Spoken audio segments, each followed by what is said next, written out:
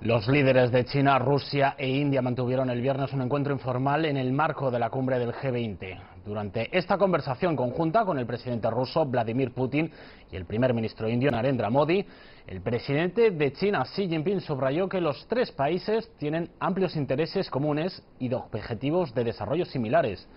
Asimismo manifestó que deberían asumir más responsabilidades bajo la situación mundial actual. Los líderes de estos tres países acordaron reforzar la coordinación en importantes mecanismos multilaterales, incluidos el G20, el BRICS y la Organización de Cooperación de Shanghái. Además, prometieron integrar la Unión Económica Eurasiática y la iniciativa de la Franja y la Ruta en Asia-Pacífico.